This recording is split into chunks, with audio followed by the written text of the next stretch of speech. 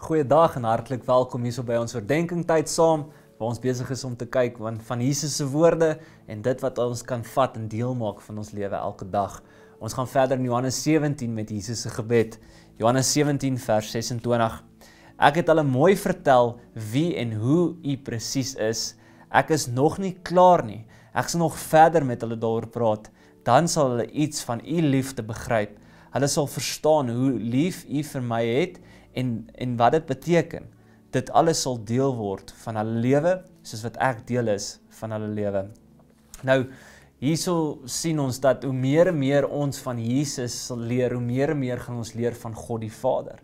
En Jesus bid hierso en hy vra dat hy gaan nog verder met ons gesels en sy begeerte is dan dat ek en jy meer en meer wil en sal leer van Jesus want hoe meer en meer ons leer van Jesus, ons meer en meer besef van God die Vader en God die Vader se hart.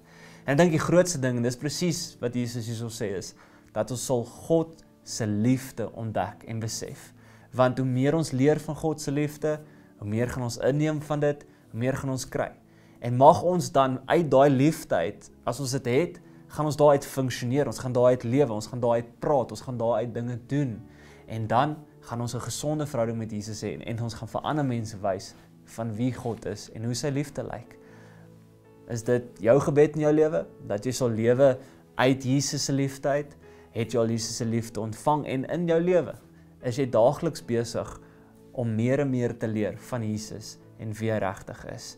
Dit is my gebed vandag vir jou en kom ons bid hierdie ook vandag saam. Here, dankie dat ons kan weet, Here, dat U ons soveel meer nog wil leer van van God en en van U en hoe U werk en wie U is. En Here, daar's soveel keer dinge wat ons aandag en gedagtes net wegvat van dit af. Maar Here, mag ons daai begeerte in ons hart hê om meer en meer te leer. En Here, in dit mag ons God die Vader se liefde ontdek vir ons. En net meer en meer sal besef hoe diep en wyd en hoe ver strek U liefde vir ons. En Here, dan mag ons vashou in daai hoop en daai liefde en mag ons lewe vanuit daai liefde en mense se harte aanraak deur dit. Dankie daarvoor, Here. Dankie vir die voorreg vir dit. En ons bid dit in Jesus naam. Amen en amen. Dankie dat jy vandag ingeskakel het. Onthou, môre ons eredienste is beskikbaar op livestreaming, is op Facebook, as ook SABC2. As jy wil deel raak van die dienste of enigiets soos dit, maak seker jy maak 'n draai daarso.